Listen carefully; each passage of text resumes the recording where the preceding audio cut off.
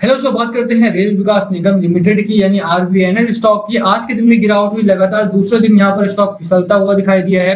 तेज़ी का बाज़ार था पिछले दिनों और एक अच्छी रैली में स्टॉक हमें दिखाई दिया था बट अब आप देखेंगे तो स्टॉक कहीं ना कहीं गिरावट में आया है हमारा।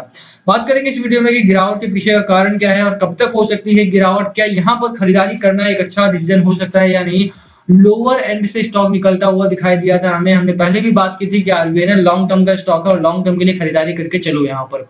अच्छा रिटर्न मिला है, मुझे लगता है कि यहाँ पर और बात करेंगे इस वीडियो में क्या दोबारा खरीदारी करनी बनती है या बेचने स्टॉक को। दोनों ही तरफ़ से चलिए शुरू करते हैं, बट उसके बाद अगर आप सबसे पहले चैनल पर नए हैं तो प्लीज़ चैनल को सब्सक्राइब कर दो हिट दैट बेल आइकन ताकि आपको नोटिफिकेशन मिल सके। चलिए शुरू करते हैं। बात करें आरबीएनएल की तो एक अच्छा स्टॉक है, बत्तीस रुपए का स्टॉक है हमारे सामने। 7.2 मिलियन शेयर्स यहाँ पर ट्रेड हुए हैं। वॉल्यूम में इस हफ़्ते काफ़ी उछाल देखा गया है।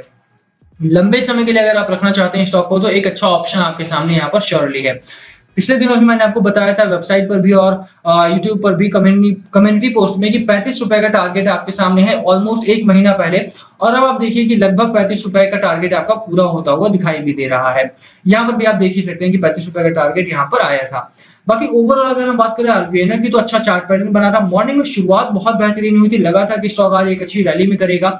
बट क्योंकि बाज़ार ने सपोर्ट नहीं किया तो बाज़ार में क्योंकि गिरावट हुई और उसके बाद उसको ही फॉलो अप किया है बहुत सारे स्टॉक्स ने। अनलॉक की प्रक्रिया शुरू हो गई है आरबीएनएल क्योंकि एक ऐसा स्टॉक है जो कि रेलवे से डायरेक्टली लिंक अप होता है हमारा। ऐसे में अगर अनलॉक की प्रक्रिया शुरू हुई है तो उसका सबसे बड़ा फ़ायदा यहाँ पर मिलने वाला है। कंस्ट्रक्शन एंड इंजीनियरिंग का जो काम है, वो अब चालू होगा तेज़ी से। और ऐसे में सिर्फ़ मेटल सेक्टर ही नहीं, ये भी हमारा भागेगा आप देखिए आज प्रॉब्लम कहाँ पर हुई? प्रॉब्लम हुई है क्योंकि मेटल सेक्टर में बहुत तेज़ी से गिरावट हुई है और उसको फॉलो किया है आरबीआई ने और मार्केट ने भी। मेटल सेक्टर एक ऐसा सेक्टर है जहाँ पर मार्केट साइकिल इस समय पर चेंज हो रही है। ट्रेंड रिवर्सल आ रहा है वहाँ पर और यही एक बड़ा कारण है कि उससे जुड़े हुए जो स्टॉक्स हैं उनमें कहीं ना कहीं गिरावट देखने को मिली है। ठीक है? तो रुकना है यहाँ पर। आरबीआई में स्टॉक अच्छा है, आपके सामने गिरावट के जो कारण है, जैसा मैंने बताया एक्सटर्नल है इंटरनल कोई भी रीजन नहीं है। स्टॉक अच्छा है, लंबे समय के लिए खरीदारी करके रखा जा सकता है। थर्टी वन रुपीज़ का, थर्टी वन पॉइंट थ्री का हमारे सामने एक अच्छा सपोर्ट है। अपर साइड पर हमारा एक रेजिस्टेंस है, जो कल के दिन में ब्रेक हुआ है। तैंतीस रुपए का रेजिस्टेंस आपके सामने है।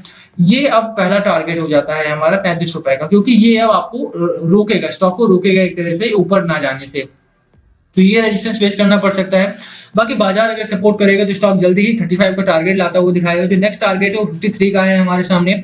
बात करें आरएसआई की तो 64 का आरएसआई है। मैगडी स्ट्रांगली बुल रन में है। हमारा हिस्टोग्राम हमारे अपर साइड बन रहे हैं। खरीदारी का चार्ट पैटर्न है हमारे सामने, ठीक है? खरीदारी यहाँ पर करनी चाहिए। अच्छा स्टॉक है। यहाँ पर पैसा बनेगा भी आपका। एक बड़ा रीजन है यहाँ पर खरीदारी करने का, क्योंकि अब अनलॉक की प्रक्रिया वगैरह शुरू हो गई। इकोनॉमी भी सपोर्ट करती है और इकोनॉमी डिमांड भी करती है। डेवलपमेंटल वर्क की और आरबीएनएल एक अच्छा स्टॉक है, एक अच्छी कंपनी है, जहाँ पर रेलवे का पूरा काम संभालती है ये। तो ऐसे में अगर आप खरीदारी करते हैं, ऐसे समय में जब अनलॉक की प्रक्रिया बस शुरू हुई है तो आप आने वाले चार से पाँच महीने में, छह महीने में, साल भर में अच्छा खासा रिटर्न इस कंपनी से कमाया जा सकता है। तो 53 का स्टॉक का टारगेट लेकर के बने रहिए स्टॉक में। 35 का शॉर्ट टर्म का 53 का लॉन्ग टर्म का टारगेट है हमारे सामने। अच्छा स्टॉक है, खरीदारी करने की सलाह मेरी रहेगी आपको यहाँ पर। बट हाँ लॉन्ग टर्म के लिए करना शॉर्ट टर्म के लिए मत करना। बाकी लास्ट कॉल आपका होना चाहिए बाय करना सेल करना या होल्ड करना। क्या है आपकी स्ट्रैटेजी प्लीज़ कमेंट करके शेयर करना। वीडियो यहीं खत्म करते, पसंद आए तो लाइक करना। चैनल पर नए हो तो सब्सक्राइब किए बिना मत जाना। Thank you for watching N S please comment below अगर पूछना हो तो।